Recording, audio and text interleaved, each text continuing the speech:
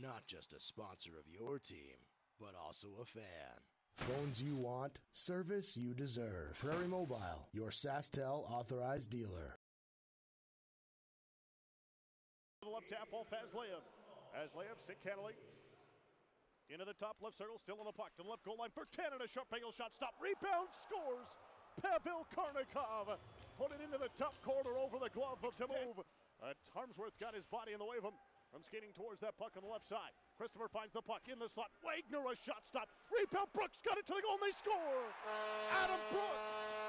And the Pats tie to one. Got the puck for the Pats. Up on the right wing for Gay. Slides it ahead to center for D'Amico. He's with Klimchuk.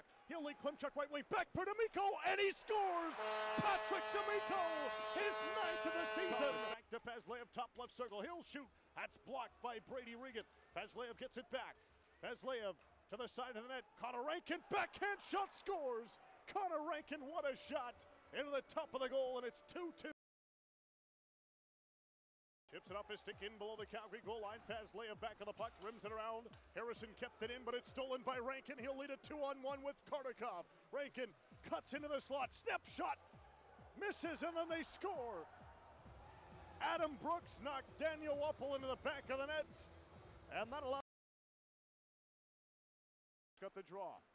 At right wing at center, it's Austin Wagner. Got it to the blue line, no further. Fazleyev cut it off. Christopher bumped him. Wagner takes the puck into the slot. Snapshot scores! Austin Wagner! And we're tied at threes. The.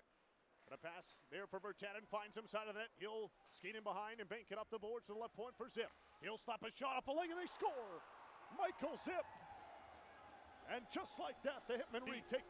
Max Shields into his right corner, Ben Thomas. Thomas, pass cross ice, almost intercepted by Connor Gay, but Fazleyev takes and he scores.